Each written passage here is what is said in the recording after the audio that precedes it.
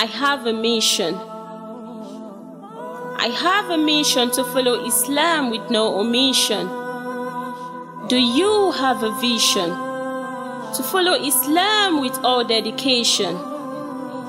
Follow the Sunnah, follow Rasul. But unto Shaitan you have decided to give your soul. Be warned, don't say you were not told. When are you going to change? Is it when you're already old? Islam is the right way, Islam is gold. Let me rephrase that. Islam is priceless, gold can compare. Looking at my brothers and sisters, my eyes are filled with tears.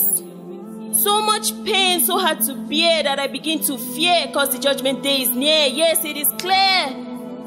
You are alive here to decide to smoke, drink, and club. I hope you realize on time how much that you have been done. Because from Allah we came, and to Him we shall return.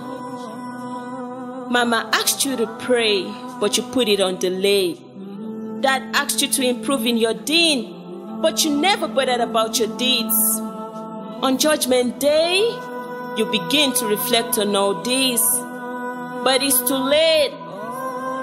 You had a chance to be a better being, but to you, you thought you owned your own life, and even when you saw the truth, you assumed it to be a lie.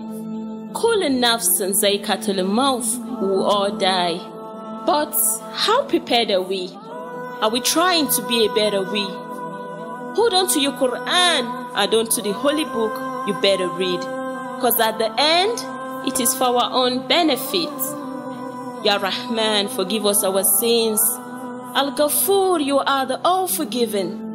Alhamdulillah, we thank you for the life that you have given. Allahu Akbar, you are the greatest, Ya Allah.